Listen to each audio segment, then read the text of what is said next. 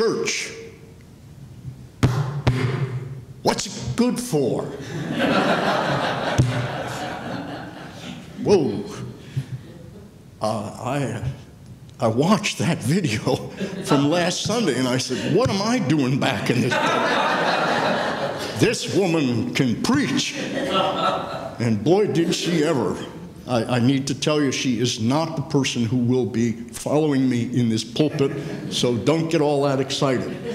Uh, and it's not fair to whoever it is that's coming in uh, to, uh, to hold uh, him or her to, to that standard, uh, or to hold me to that standard. This morning's title, Mysterium Tremendum et Fascinans, is taken from one of the most influential thinkers of the first half of the 20th century. Rudolf Otto is best known for his work, The Idea of the Holy, first published in German in 1917 and translated into English in 1923. In the idea of the holy, Rudolf Otto analyzes the human experience that underlies all religion. He calls this experience the numinous. It's the Greek word for spirit, pneuma, the numinous, and says that the numinous has three components these are often designated with a Latin phrase of this morning's title Mysterium Tremendum et Fascinans. The mystery that is, that terrifies us, frightens us, and the mystery that fascinates us and draws us. As mysterium, the numinous is wholly other, says Otto, entirely different from anything we directly experience in ordinary life, but it invokes a, a profound silence in us. But the numinous is also a mysterium tremendum. It provokes terror because it presents itself as overwhelming power. And finally, the numinous presents itself as fascinans, as Rudolf described it. He, Rudolf was a Lutheran pastor and theologian, as merciful and gracious. Well, uh, how do we even begin to talk about uh, this concept, mysterium tremendum et fascinans. Uh, Fred Buechner said all theology is autobiog- autobiography. That if you, and John Calvin, as I reminded you a couple of weeks ago, said that the knowledge, uh, the knowledge of God is essential to the knowledge, that the knowledge of the self is essential for the knowledge of God and then the knowledge of God is essential for the knowledge of the self. So there's this dynamic relationship between our own nature and the nature of God. How do we even begin to discuss this? Well, my friend uh, Steve Shoemaker down in Urbana, Illinois, as you, some of you know, writes me, sends me these um, verses and poems that he composes on his, on his iPhone. His, he's got his back to his wife. He's leaning over, and, or maybe he's, I guess he's on the right side. So he, he's typing in, he's, he's, these poems and verses pop into Steve's head. And he uh, then sends me what he's written, and I post them on my blog, which the whole world reads. Uh, this one is called Driving Blind. I want to I wanna help you to get into Mysterium Tremendum et Fascinans through the back door this morning. Sort of like Moses being in the cleft of the rock while God passes by. Driving blind. The highway is straight and smooth, only one lane in each direction. No barrier in the center, no guardrails on the sides. Nighttime, no white lines mark the edge of the road, no street lights. All that can be seen is the oval puddle of light from the headlights of my speeding car. I jerk awake as I feel the left tires bounce on the shoulder of the road. I have crossed the wrong lane. I know my wife is beside me, but I cannot open my eyes. I cry out, but her seatbelt holds her too tightly for her to reach the wheel. My eyes open for one second, and then all is dark again. I cannot stay awake. I whimper and shudder. The terror remains even after I realize we are in our own bed and I've been dreaming. Well, I had several responses to this. One from uh, one of our dear friends here at Shepherd the Hill, who wrote, I've been there, um, only in my dreams, I'm in the back seat of a speeding driverless car, and I can't get to the front, not even to press the brake. And I wrote back, Was it a child delivery truck? Are you getting that? Or was it a child? She can't. she's in the back seat. She can't get this. Was it a child delivery truck? Seriously, these dreams wake us up in a cold sweat. They remind us that we are not in control. It's the subconscious reminding us that we are not in control. A close friend from kindergarten days back in Broomall, Pennsylvania, wrote this comment. Um, try having something similar happen, happen when you are awake with your eyes open. A big contributor to my retirement at the time I retired, she wrote. She goes on to describe her problem with Carolyn from the time I never knew Carolyn. I met her when I was five. We were both five years old. I never saw Carolyn without her glasses, thick glasses. I always thought that was a little odd, but that's just what Carolyn did. She goes on to describe her problem with double vision, seeing two oncoming cars and four lanes when there are two and having, she drives, having to decide which one was real and which one was the product of her double vision. A near accident on a winding road in Gulf Mills, Pennsylvania, a road which, with, with which I am well familiar, helped her to make the decision to retire. Uh, a phone call comes, a message on the voicemail this uh, Friday, this last Friday. And, and the message uh, uh, asks if I am the son of the chaplain on Saipan in the South Pacific during, the World War, during World War II would I please call him? Because he's doing research on the unit on Saipan. So I called him. And a wonderful, probably an hour conversation with him. He's been work, he is the grandson of one of the members of the unit my father served as chaplain for on Saipan.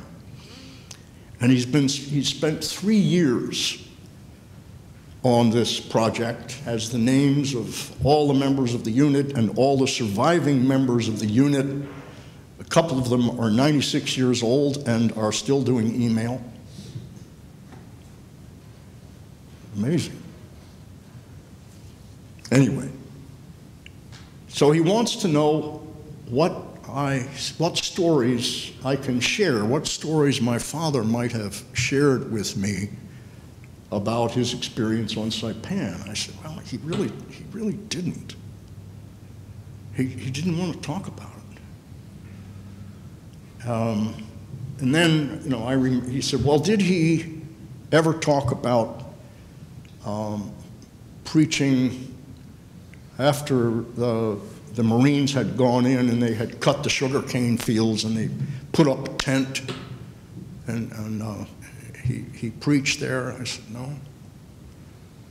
He said, Well, I have pictures of it.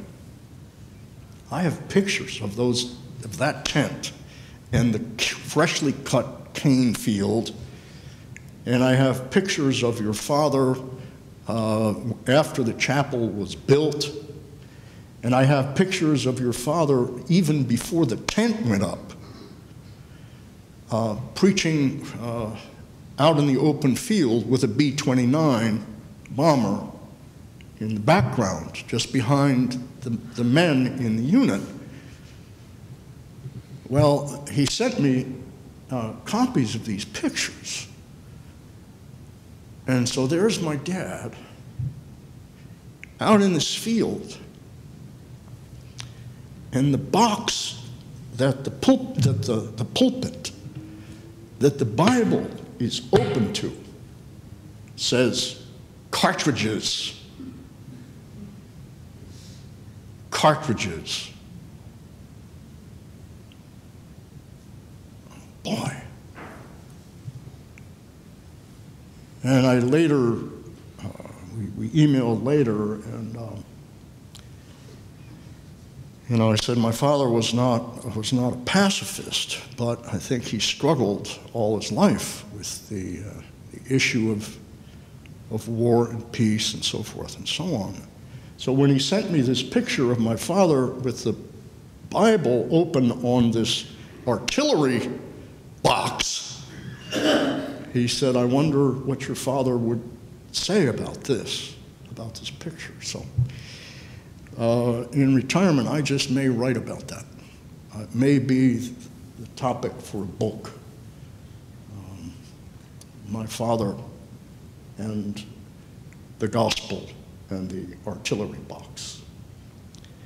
I don't know. I don't know what I'm going to do when I retire, but um, uh, that phone call uh, and uh, what has come after it um, are very precious looks at the complexity of what it means to honor Mysterium Tremendum et Fascinans. How do you preach the gospel in a time and in a place like that? What did he say? How did he encourage them? How did he comfort them when a group of them had been were on their way to discharge on a plane across going home to the US when a one of the engines went out and it had to return to the runway and crashed and killed them all.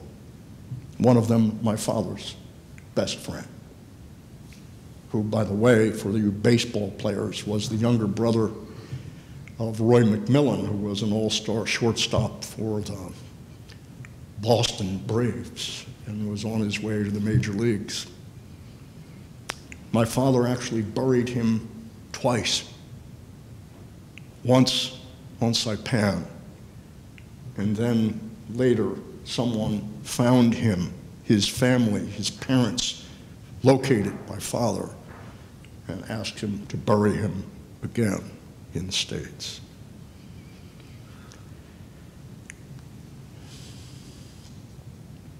Life is uh, full of paradox, isn't it?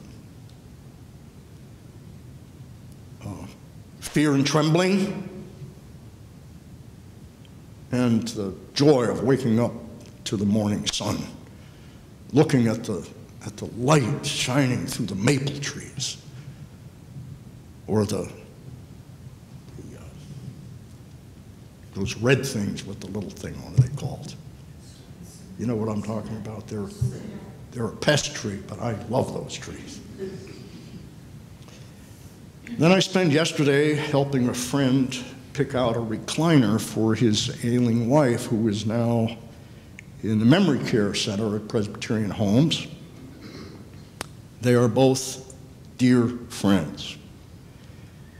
Uh, he and I go shopping for just the right chair that will help her to recline. She spends a lot of time in that chair, and hers currently does not recline, and it just comes up to her shoulders. So we're looking for a chair. He was looking, I was just his taxi. Uh, for a chair that would help her to recline as far back as possible and then would lift up so that she could be almost in a standing position with her feet on the floor and then could grab her walker easily without falling over. Well, we found one.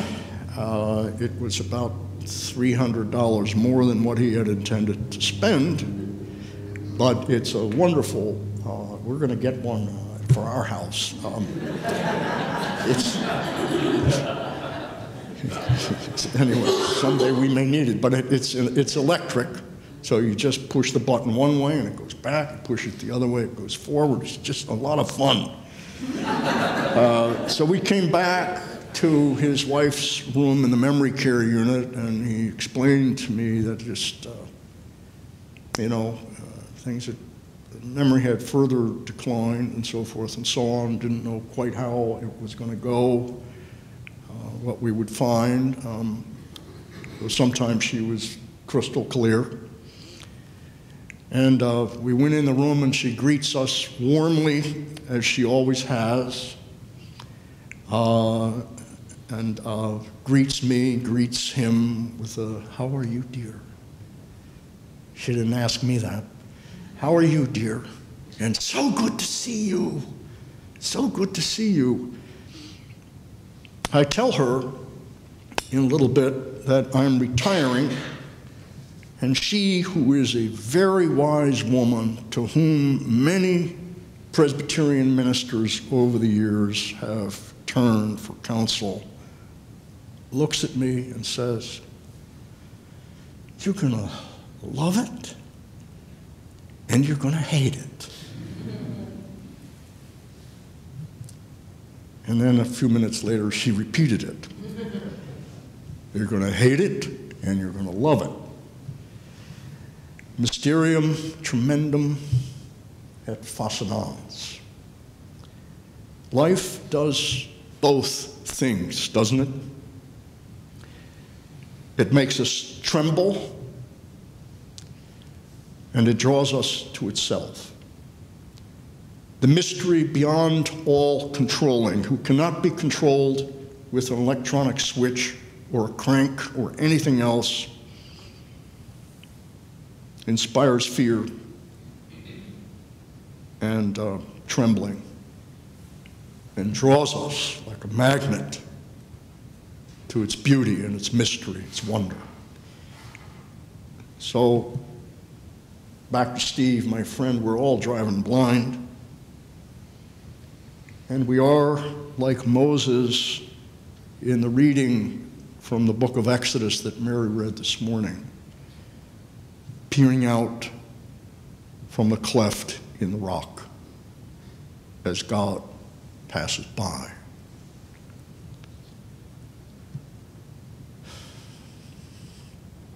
For how shall it be known, asks Moses, that I have found favor in your sight, I and your people, unless you go with us? In this way, we shall be distinct, and I and your people from every other people on the face of the earth. And the Lord said to Moses, I will do the very thing that you have asked. for you have found favor in my sight, and I know you by name. Moses said, Show me your glory, I pray. And he said, I will make all my goodness, God said, I will make all my goodness pass before you and will proclaim before you the name. In the English, it says the Lord. Breath. And I will be gracious to whom I will be gracious, and I will show mercy on whom I will show mercy. But God also said, You cannot see my face, for no one shall see me and live. And the Lord continued Look, there is a place by me where you shall stand on the rock. And while my glory passes by, I will put you in a cleft of the rock, and I will cover you with my hand until I have passed by. Then I will take away my hand, and you shall see my back, but my face shall not be seen.